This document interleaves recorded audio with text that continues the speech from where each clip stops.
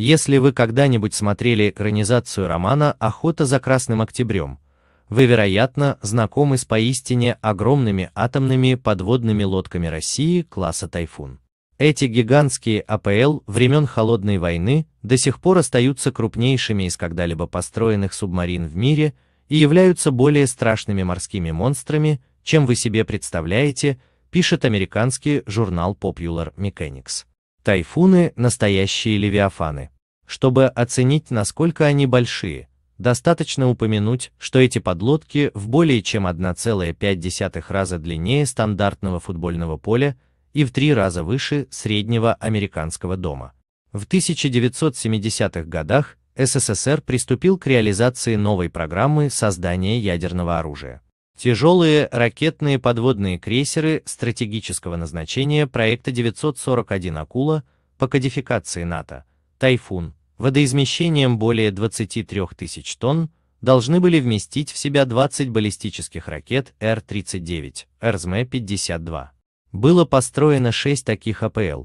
По состоянию на 2020 год в строю оставался один ТК-208 Дмитрий Донской, спущен на воду в 1980 году, еще две АПЛ, ТК-17 и ТК-20 ожидали утилизации. Размеры тайфунов позволили уйти от спартанской обстановки и значительно улучшить условия пребывания подводников. Инженеры КБ «Рубин» оборудовали АПЛ даже солярием, бассейном и сауной.